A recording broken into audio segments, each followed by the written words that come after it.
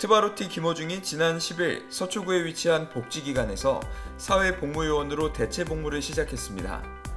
김호중은 잠시 자리를 비웠지만 그의 흔적은 강렬하게 남았습니다.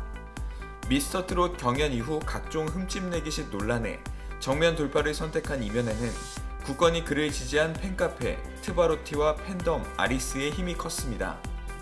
김호중의 첫 정규 앨범은 40만 장 돌파라는 놀라운 성과를 냈으며 더블 타이틀곡인 만개와 우산이 없어요는 발매와 동시에 5일 오후 7시 기준 소리바다 실시간 인기 차트 1위와 2위를 기록 이외에도 멜론, 지니뮤직, 플로 등 각종 실시간 차트 상위권에 올랐습니다.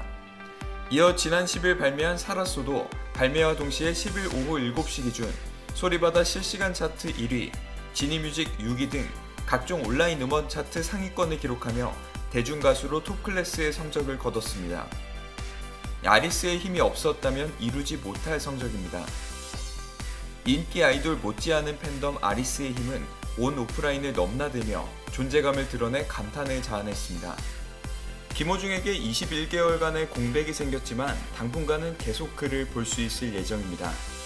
이미 촬영을 마친 팬미팅 무비와 예능 프로그램의 방송도 남아있기 때문입니다. 단독 팬미팅 우리가 처음으로의 현장을 담은 그대 고맙소 김호중 생애 첫 팬미팅 무비는 오는 29일 CGV 다면 상영 특별관 스크린X에서 개봉하며 추석 이후 정규 앨범 우리가의 모든 노래가 담긴 콘서트 VOD가 공개될 예정입니다.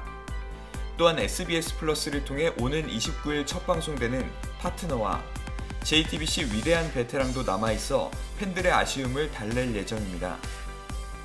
김호중은 군입대 전 자신의 인스타그램에 밤이여 사라져라 별들아 잘지어다 황혼이 틀 무렵 나는 승리하리라 빈채로라는 문구를 적었습니다.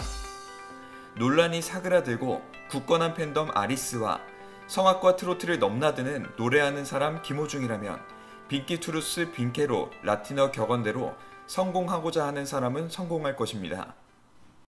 반응이 센 뉴스 CBC